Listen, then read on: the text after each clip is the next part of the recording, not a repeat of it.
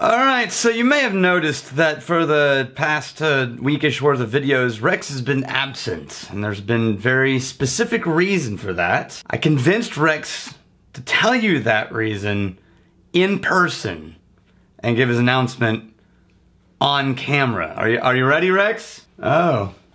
Oh, look, what do you got there, buddy? Oh. Sorry. Welcome to the Whiskey Vault. What do you got? Got a new addition to the family. A new edition. I, I'm afraid to look. How dare you, little Pete? Maybe. Depends. He's sleeping. He's sleeping? Okay. Oh, he's so cute. He's Oh. 256 ounces. 256. Wow. Let me get this. Holy crap. Did you get the epidural?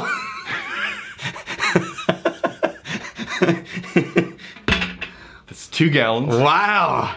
Fully loaded. Okay. It's coming in at about 16 pounds. So you had to have back support and a full child carrier. Bjorn, you don't have a Bjorn? I haven't seen a Bjorn. I guess I haven't seen a Bjorn in uh, eight years. I forgot what they looked I like. it's an Ergo baby. No, okay. Those who know know. Close enough. Okay. That thing So, is huge. It Wait, is, it is customary. let me hold this for a good, uh, for a good scale of like. This is how Lord of the Rings was filmed.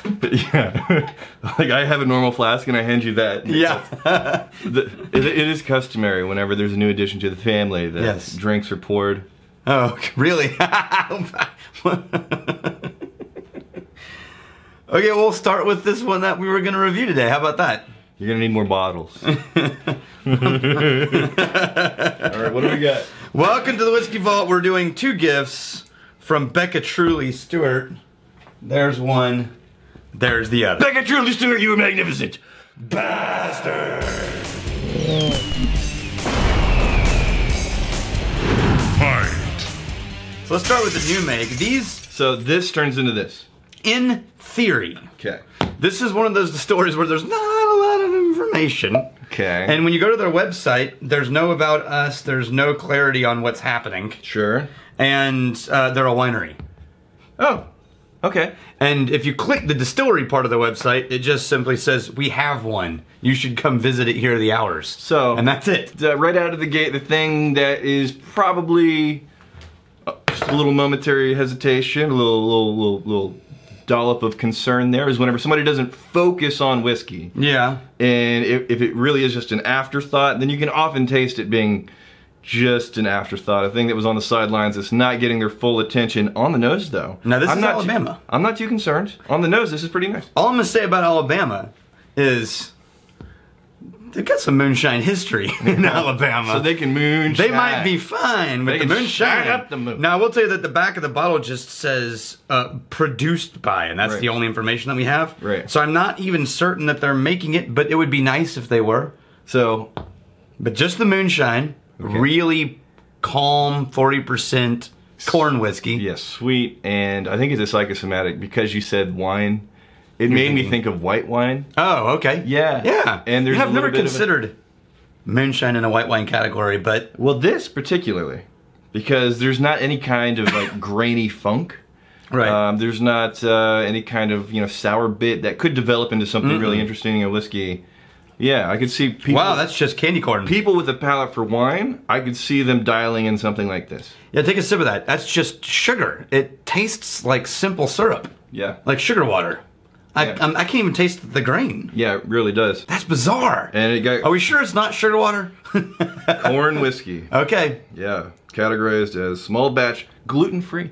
Yeah, the irony is every bottle that doesn't have additive coloring and flavoring is gluten free. Is that true? yes. Okay. Any whiskey in the world, the stuff that that the gluten But probably stuff is removed during distillation. but our whiskey, I've researched this, is the only whiskey on earth that's vegan friendly. vegan friendly. Yes. Why? There's no meat in our whiskey. That's true. Yeah, I think we're the only ones. Yeah. Yeah. But I You're welcome. so. Did you ever have the impossible? Have you still you still never had the, the Impossible Burger? No, no, I I went to the place to go get one, and they said we are temporarily out. Evidently, there's a shortage of Impossible Burger They're meat. they're phenomenal. Mm. In terms of substitute burger meat, look, neither one of us are vegans. We love meat, but I've always been kind of curious. Whenever you don't want that the, the meat sweats, the meat coma. I bought the frozen is patty there, is there an amazing substitute? And the first time I had an Impossible Burger was at, gosh, Cheesecake Factory, which I Oh. never go to. Yeah, there's one in the mall. We Yeah, went to the other day I because we got stuck there for that was the stuff. one. Yeah, was stuck there for something. And oh my gosh. Okay, back wh- whiskey is the thing we're talking about. Okay, this is just sugar. So let's move on. Um, Yeah. I, I don't know what you would put that in as a cocktail because it doesn't have any flavor other than sugar. Well, if you just needed simple syrup with a little bit of A little bit of good stuff. alcohol in it. All right, so this is they say aged in oak for six months. That'd be pretty funny if you designed cocktails around every ingredient having alcohol. in it. That's called a Long Island iced tea. Right. Yeah. oh, there's some nose. It's still very faint, Uh, so, but it it's the wood impact is there. okay, It's baby. okay. So, sweet and friendly is the name of the game. It's very simple, and I'm thinking they have all of their time and attention dialing in the wines. Maybe I don't know the the whiskey. It's like we got some equipment, we got a corner for a still. Let's put some stuff through there. We got some space for barrels. This hasn't really matured or developed into anything complex or nuanced. Did you say how old this was? Six months. Six. Yeah. Well, I mean, hell, six months. Come on, it's not. And Yeah. Alabama's pretty. It's got some heat there. This also tastes like sugar with a hint of whiskey, with a hint of wood oak. Mm-hmm. Yeah. Okay, so here's the thing I wanted to compare it to. By the way, hold on, hold on, hold on, hold on. Oh, hold on. I'm putting in my time, right? Been here for 14, 15 years, plugging away on these videos. and the moment We've aged 14 or 15 moment years. I take a couple days off, we've been going through. There's a streak of like Jim Bob's generic whiskey that you could never find in a million years because there's like three bottles ever made. Yeah. Oh, like like forever. We've been doing this, and then the moment I peace out for a little bit, you got the Smoky Monkey, Oh, we got the Oban 18. Got the Oban 18. Nikka 12. Nikka 12. Dude, you know what's I say this in the spirit of love. They were. I say this in the spirit of love. What the actual? the irony is, those three were literally the next three in the donation order.